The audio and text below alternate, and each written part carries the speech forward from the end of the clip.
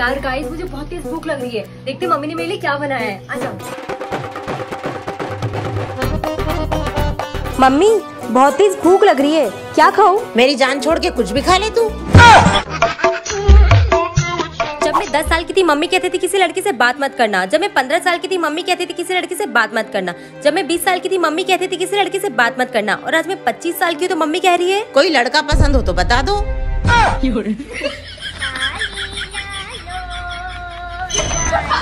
वो चाँद है। नहीं सूरज। है वो चाँद है। नहीं सूरज है। अरे चल जिन भाई साहब से पूछ।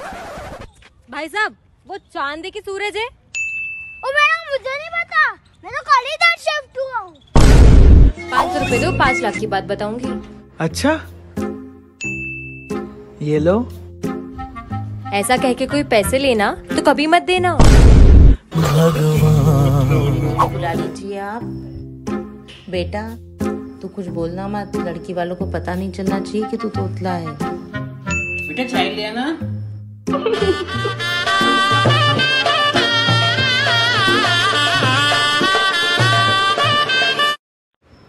दलम है दलम है। फुट मारते पी फुट मारते पी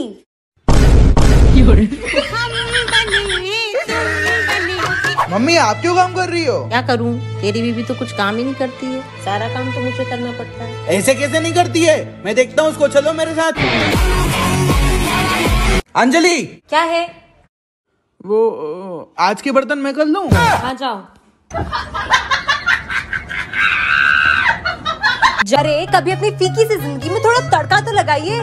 कभी अपनी गर्लफ्रेंड को बीवी से भी मिलवाइए। अगर आप पति पत्नी हैं और आपके बीच में झगड़ा नहीं होता है तो समझ लेना पंडित जी ने शादी के वक्त मंत्र ठीक से नहीं पढ़े होंगे। हाँ हाँ ठीक है ओके। बेबी ये फ़ोन काट के रखना। हाँ।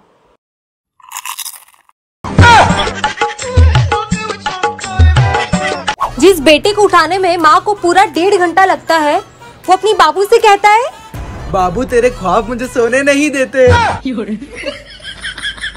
देखो तुम्हारी बेटी की बैग से क्या क्या निकला है? सिगरेट दारू की बोतल इतने सारे नंबर क्या है ये? आंदो उसको आज आज उसकी खेल नहीं। Oh, no.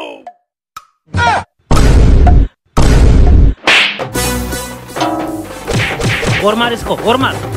अरे बताओ तो सही हुआ क्या है? मार क्यों रही मेरे को? तेरे बैग में से क्या क्या निकला है? मेरे बैग में से? लेकिन पापा ये बैग तो आपका ही है। यार तुम्हें समझ क्यों नहीं आता? हर सवाल का जवाब देना ज़रूरी नहीं होता। काश ये बात हम एग्ज़ाम में भी लिख पाते। प्यार एक खूबसूरत एहसास है और जो अभी मैंने लाइन बोली वो एकदम बकवास है। असली मज़े तो पतले लोगों के हैं। एक तो ठूस ठूस के खाते हैं और मोटे भी नहीं होते। शादी करोगे मुझसे? मन तो मेरा भी तुमसे शादी करने का बहुत करता है। मगर तुम मुझसे खाना बनवाओगे।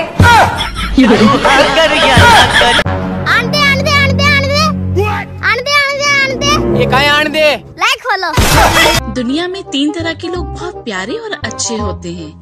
एक मैं एक मेरी सासू माँ की बहू यानी कि मैं। एक मेरे पति की पत्नी यानी कि मैं। किचन में क्या क्या आता है? मुझे किचन में आलस आता है पसीना आता है और चक्कर तो बहुत ही आते हैं।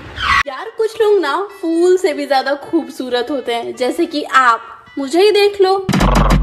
हमें भी तो देखने का मौका मिलना चाहिए कि नहीं? अरे इधर क्या मोदारी का खेल हो रहा है? जो हमें भी तो देखने का मौका मिलना चाहिए। नॉनसेंस इश्क की नाव में सबसे पहला छेद तब होता है जब आपके बॉयफ्रेंड से ज़्यादा हॉट उसका बेस्ट फ्रेंड होता है। मम्मी आप क्यों काम कर रही हो? क्या करूँ? तेरी बीबी तो कुछ काम करती नहीं है। सारा काम तो मुझे ही करना पड़ता है। ऐसे कैसे नहीं करती है? मैं देखता हूँ उसको। चलो मेरे साथ। अंजलि! क्या है? वो आज के बर्तन मैं धो दूँ? हाँ जाओ। अबे सैंडल हाथ में लेके क्यों घूम रही है? नई सैंडल है। गंदी हो गई तो? लड़कियाँ मर तो सकती है लेकिन किसी को धोखा नहीं दे सकती। बाकी का झूठ कल बोलूँगा। क्या हो गया बेटा? बुखार है मम्मी। तुझे तो बीमारी भी गरीबों वाली होती है। पड़ोसी के बेटे को देख कैंसर है कैंसर। कुछ कुछ से